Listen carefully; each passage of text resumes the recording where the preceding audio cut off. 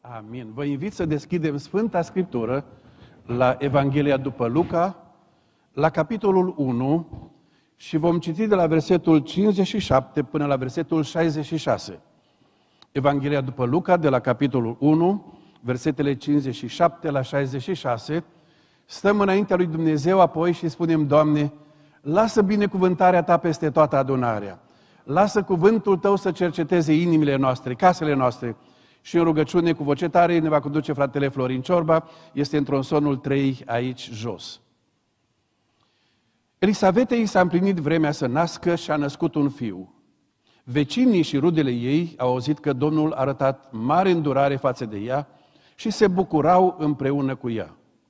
În ziua a opta, au venit să taie pruncul împrejur și voiau să-i pună numele Zaharia, după numele tatălui său. Dar mama lui a luat cuvântul și a zis, nu, ce are să se cheme Ioan. I-au zis, nimeni din rudenile tale nu poartă numele acesta.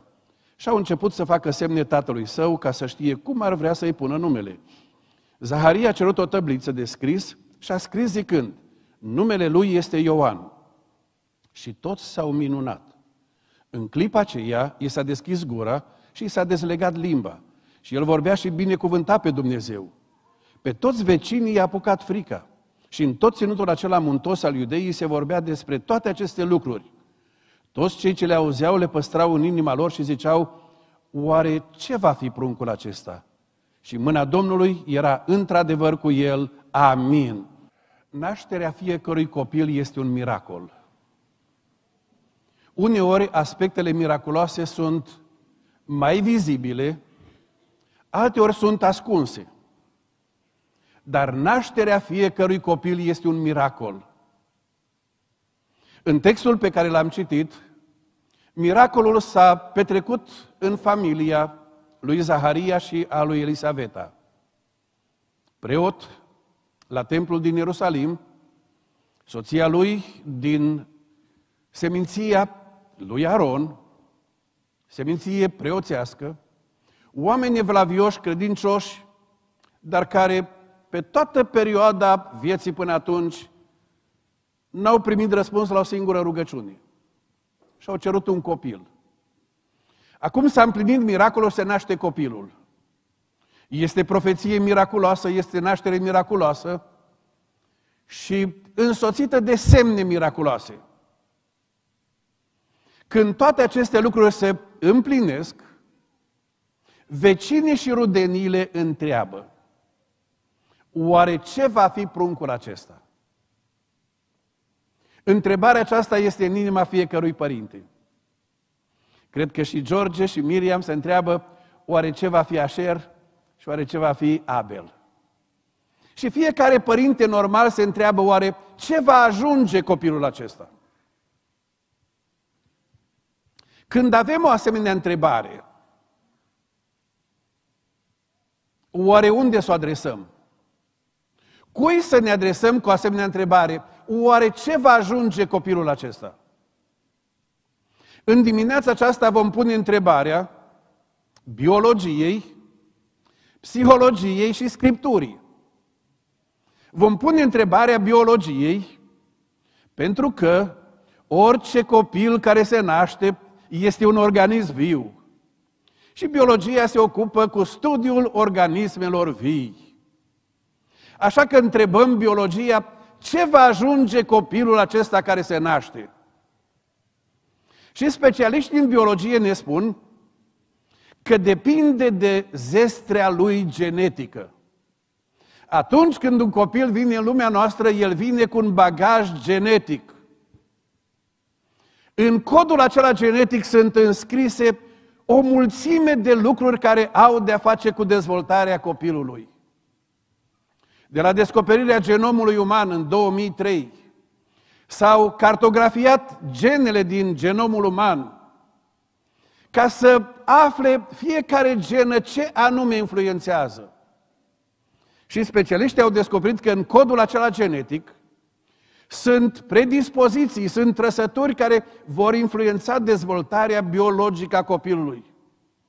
Acolo este înscrisă culoarea părului, a ochilor, acolo sunt înscrise o serie întreagă de informații despre dezvoltarea și funcționarea biologică a copilului.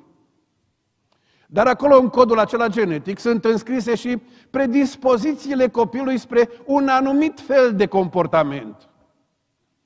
Și la ora actuală, oamenii care vor să acorde geneticii decizia finală cum vor arăta copiilor, apelează la tot felul de aspecte care țin de așa numita inginerie genetică. Să proiecteze copilul și să facă modificări în codul genetic, în așa fel încât copilul să aibă înălțimea dorită, culoarea părului dorită, a ochilor, a feței, configurația, ă, trăsăturile cognitive, intelectuale, în așa fel încât să aibă copilul ideal. Dacă vor reuși sau nu, e o problemă de timp, de viitor și de decizie suverană a lui Dumnezeu, până unde îi va lăsa. Dar când ne uităm la ceea ce ne spune genetica, descoperim că în zestrea genetică a copiilor care se nasc sunt înclinații bune și sunt înclinații rele. Că acolo în codul genetic sunt înscrise lucruri care au de-a face cu posibile maladii genetice, boli genetice. Și când ne uităm la tot ce face genetica și la tot ce pot face specialiștii, descoperim o serie întreagă de lucruri uimitoare. Numai că fiecare organism care se naște poartă amprenta păcatului. Fiecare copil care se naște, indiferent de structura lui genetică, poartă amprenta păcatului. Și datorită amprentei păcatului, datorită consecințelor păcatului, fiecare copil care se naște este la fel ca noi toți. Omului este rânduit. Ce este rânduit? Să moară. Și genetica nu poate face nimic. Nu poate rezolva problema păcatului, nu poate rezolva problema veșniciei. Nu poate rezolva aspectele care țin de ceea ce se va întâmpla cu copilul acesta după ce își termină viața biologică. Ce va fi copilul acesta? Întrebăm biologia, genetica și ne pot spune o serie de lucruri despre viața de aici, de pe pământ. Dar nu ne pot spune nimic despre veșnicie. Și când întrebăm și totuși care va fi evoluția, ne spun, depinde nu doar de structura genetică, de zestrea genetică, depinde și de mediul în care va fi copilul. Mediul are influență asupra trăsăturilor genetice, asupra predispozițiilor, ca să le dezvolte într-o direcție sau alta. Că mediul înconjurător sau educația este cea care dirigează zestrea aceea genetică înspre o direcție sau alta. B.F. Skinner, unul dintre părinții psihologiei behavioriste, a spus, dați-mi un copil și modelez din el ce vreți voi. Dacă îmi dați un copil, pot scoate din el inginer, avocat, pot scoate din el medic, sau pot scoate din el un tâlhar, un criminal sau un violator. Dați-mi un copil și dacă vreți, îmi spuneți ce să scot din el și asta scot. Ca să sublineze influența mediului. Și când se naște un copil și întrebăm, oare ce va fi copilul acesta? Este zestrea genetică și cine îl educă. De aceea, când Dumnezeu a hotărât să dea oamenilor harul acesta de a întemeia familii și de a naște copii, Dumnezeu le-a spus, creșteți, înmulțiți-vă și umpleți pământul. Și apoi Dumnezeu a zis, părinților, nu întărâtați la mânie pe copiii voștri, ci creșteți-i. Cum să-i creștem?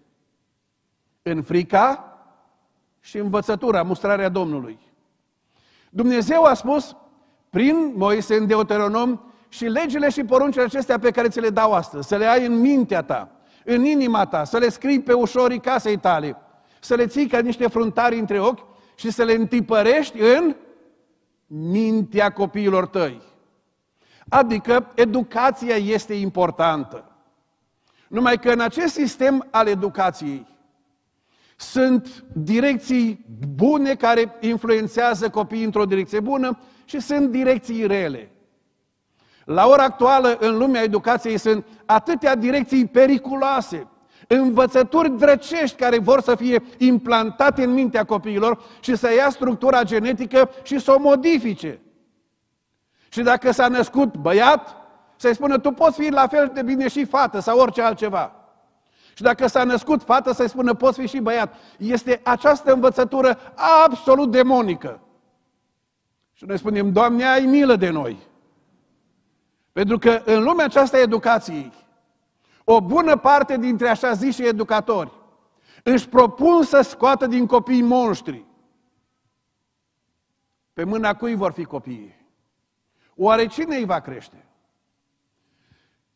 Și la ora actuală, preocuparea este să crească pruncii, să-i educe în așa fel încât să aibă o poziție socială bună, o profesie bună, o stare materială bună, să aibă un mediu în care să își împlinească dorințele lor. Și preocuparea educației este în mare măsură doar pentru lumea aceasta. Biologia ne spune ce poate ieși din copil din punct de vedere biologic doar aici pe pământ. Educația ne spune și ea ce poate să facă doar aici pe pământ. Dar când este vorba de mediul acesta, când este vorba de educație, atunci când Dumnezeu a dat un copil lui Zaharia și Elisabetei, Dumnezeu le-a spus în ce fel să-l crească, ce fel de educație să-i dea. Versetul 15 din capitolul 1. Că își va fi mare înaintea Domnului și vă rog să vă uitați în Biblie dumneavoastră să vedeți ce scrie. Că își va fi mare înaintea Domnului și nu va bea nici vin, nici băutură amețitoare. Deci copilul acesta nu va crește într-un mediu influențat de consumul de substanțe toxice. Nu va fi expus la petreceri și la chefuri. Copilul acesta nu va crește cu băutură. Copilul acesta va fi ferit de influența acestor substanțe și Biblia spune ce se va umple de Duhul Sfânt de când? Încă din pântecele mamei lui ca să ne explice că există influențe bune dumnezeiești asupra copilului încă înainte de a se naște. Că influența aceasta bună a copilului nu trebuie să aștepte până la naștere. Ba mai mult, ne spune capitolul 1, versetul 66. Mâna Domnului era într-adevăr cu el. Mâna Domnului era într-adevăr cu el. De când s-a zămislit, până la naștere și de la naștere până la capătul vieții, mâna Domnului a fost cu el în educația lui. Versetul 80. Iar pruncul creștea și se întărea în duh. Pruncul creștea biologic și se întărea în duhul lui. Este o educație care nu are în vedere doar partea biologică, ci are în vedere și partea spirituală. Oare ce va fi copilul acesta? Și oricât s-ar strădui biologia și psihologia, cât s-ar strădui genetica și pedagogia, să scoată din copilul acesta un om, poate scoate din el un om doar pentru pământ. Și indiferent care e rezultatul, impresionant să ajungă mare din punct de vedere omenesc, social, financiar, economic, cum vrei,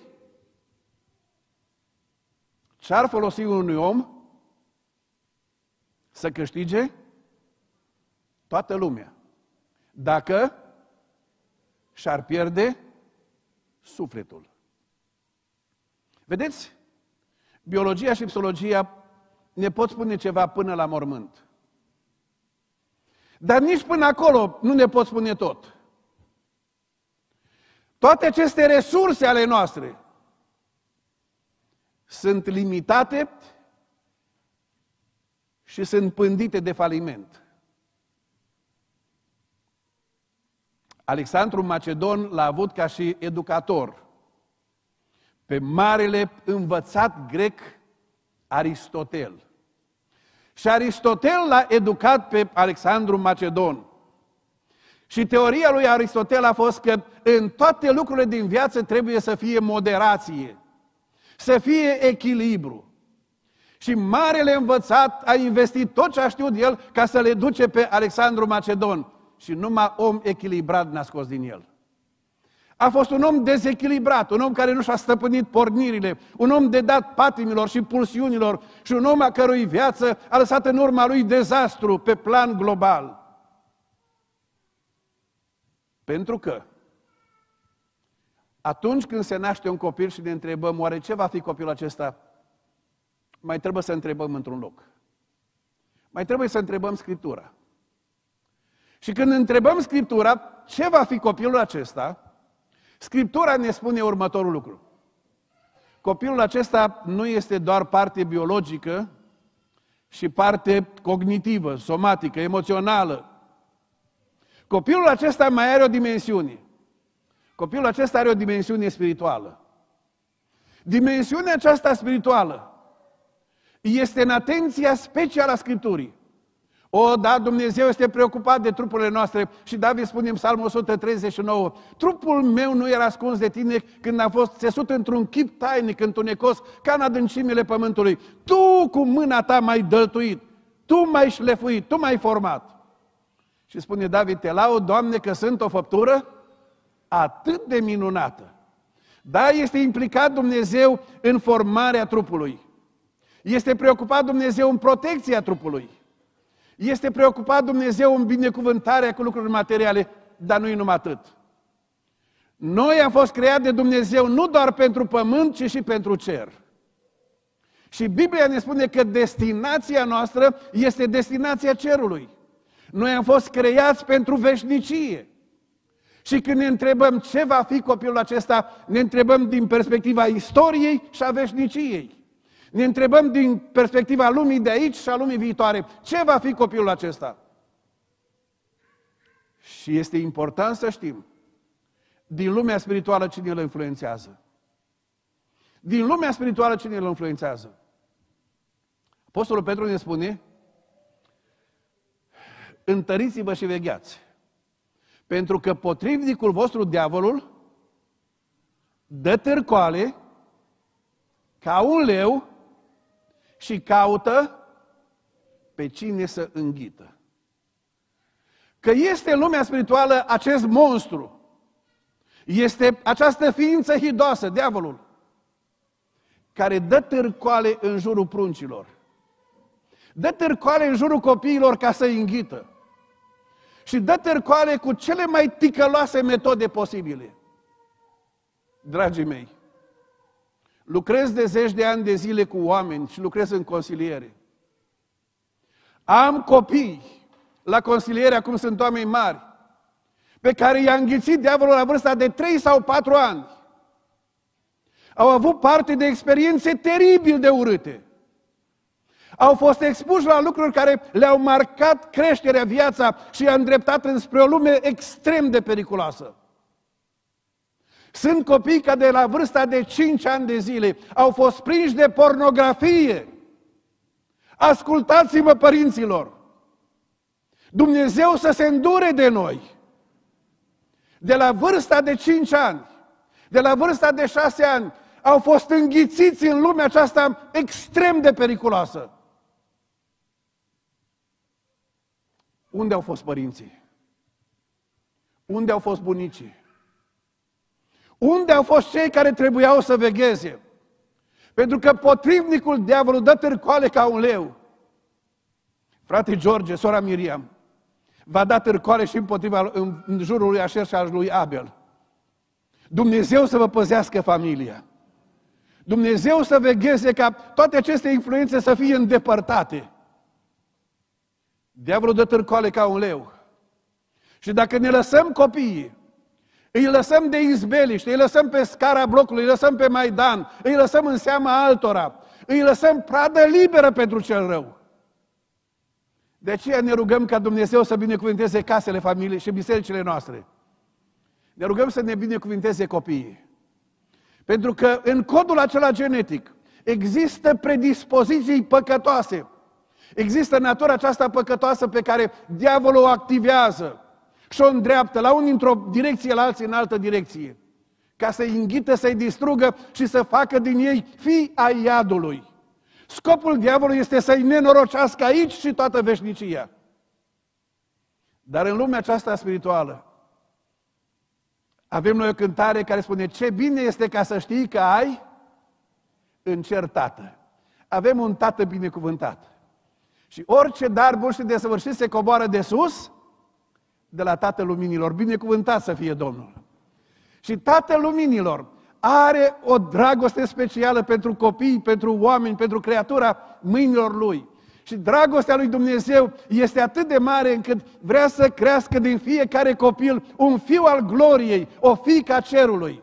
Și Dumnezeu este preocupat să ducă fiecare copil înspre momentul acela în care descoperă lumea de dincolo și calea, adevărul și viața într-acolo. Ioan Botezătorul a crescut într-o familie de părinți bătrâni. Și Zaharia și Elisabeta erau în vârstă când au primit copilul. Și ne spune Biblia că mâna Domnului era peste el.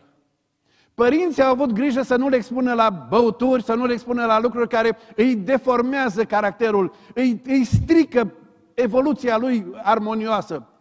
Și mâna Domnului era peste el. Și când a crescut mai mare un pic, ne spune că pe măsură ce creștea biologic, se întărea în duh. Este această îmbinare a creșterii biologice și este această maturizare spirituală. Se întărește în duh, în convingeri duhovnicești. Și acum urmează expunerea lui la mediu. Și a stat în locuri, în ce fel de locuri a stat? Locuri pustii. Adică a stat retras. A stat departe de zgomotul societății. Ioan Botezătorul n-a crescut pe la baruri și discoteci. Ioan Botezătorul n-a crescut pe la petreceri de un fel sau altul. Ioan Botezătorul a înțeles că are o menire specială, pentru că Dumnezeu i-a spus tatălui său, când l-a anunțat prin îngerul Gavril, el va fi pentru tine o pricină de bucurie și veselie. Și mulți se vor bucura de nașterea lui. Ce va fi copilul acesta, Zaharia? Pentru tine va fi o pricină de bucurie, te vei bucura de el. Un copil care îți aduce bucurie. Va fi bucurie pentru ceilalți. Toți cei care îl vor vedea se vor bucura de el. George și Miriam, ne rugăm să vă bucurați de copiii voștri. Și ne rugăm ca fiecare familie să aibă harul să se bucure de copiii lor. Dacă e o pricină de întristare, dacă îți aduce dureri și lacrimi, spunem, Doamne, ai milă de noi. Ascultă-ne rugăciunile. Ne rugăm și fratele Dor a menționat în rugăciune pentru toți cei care au fost aduși la binecuvântare în biserica aceasta. Oriunde sunt, poate unii ne vor urmări pe internet, ne rugăm ca Dumnezeu să vă cutremure inima. Pentru că diavolul vrea să facă din voi fia iadului. Să vă fure cel mai mare dar al lui Dumnezeu, viața veșnică și binecuvântarea vieții de aici. Ne rugăm ca Dumnezeu să vă întoarcă acasă. Ne rugăm pentru cei care sunt aici. Ne rugăm să vă păzească Dumnezeu. Mâna bună a Domnului să fie cu voi. Și educația aceasta pe care o aveți și comportamentul și alegerile să nu fie unul care vă expun la toate spurcăciunile lumii. E important să știi să spui nu. E important să spui nu-i locul meu acolo. Nu pentru asta a fost crescut. Pentru că dincolo de bucuria părinților, va fi mare înaintea Domnului. El va întoarce pe mulți din fiul lui Israel la Domnul Dumnezeul lor. Va merge înaintea lui Dumnezeu în Duhul și puterea lui Ilie, ca să întoarcă inimile părinților la copii și pe cei neascultători la umblarea în înțelepciunea celor neprihăniți, ca să gătească Domnului un orod bine pregătit pentru el. Planul lui Dumnezeu este să fie mare înaintea lui Dumnezeu. Mare ca om al lui Dumnezeu. Mare ca om în viața lui și mare ca om în lucrarea lui. Mare ca om care va împlini planul lui Dumnezeu pentru viața lui și pentru întoarcerea altora la Dumnezeu. Și Biblia ne spune în capitolul 3, versetul 1. În anul a 15 al domniei lui Tiberiu Cezar, pe când Pilat din Pod era dregător în Iudeea, Irod cârmuitor al Galilei, Filip fratele lui cârmuitor al Ituriei și al Trahonitei, Lisania cârmuitor al Abilenei și în zilele marilor preoți Ana și Caiafa. Cuvântul lui Dumnezeu a vorbit lui Ioan, fiul lui Zaharia, în pustie. În vremea acestor mari personalități a lumii, vă rog să ascultați această, această înșiruire de personalități, este impresionantă. În anul 15 a domniei lui Tiberiu Cezar, împăratul Romei, cel mai mare și puternic om al vremii, pe când Pilat din Pont era dregător în Iudeia, guvernator Pilat din Pont, pe când Irod era cărmuitor al Galilei și el era guvernator acolo. Când Filip era cărmuitor al Ituriei și al Trahonitei, Lisania cărmuitor al Abilenei, mari oameni politici, mari oameni de stat, mari oameni cu putere și cu influență. În zilele marilor preoți Ana și Caiafa, mari lideri religioși. Știți cum ar suna asta pentru Asher și pentru Abel? În zile când Joe Biden era președintele Americii, Vladimir Putin era președintele Rusiei, Angela Merkel tocmai și-a încheiat mandatul de cancelar, Iohannis este președintele României, când Teoctist este patriarhul României și Francisc este papă la Roma, cuvântul lui Dumnezeu îi vorbește lui Asher și lui Abel. Adică Dumnezeu trece pe lângă toți aceștia. Din punctul de vedere al lui Dumnezeu n-au nicio valoare. Din punctul de vedere al lui Dumnezeu, n-au niciun rol în împărăția lui Dumnezeu. Cuvântul lui Dumnezeu vorbește lui Ioan. Și Ioan înțelege cuvântul lui Dumnezeu și îl primește.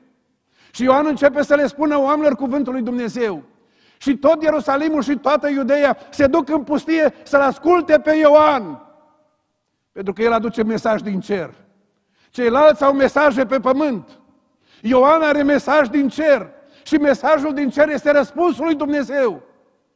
În vremea noastră, răspunsul pentru lumea de astăzi este în cer. Frați și surori, omenirea se duce spre iad. Și ne rugăm ca Dumnezeu să iasă înainte.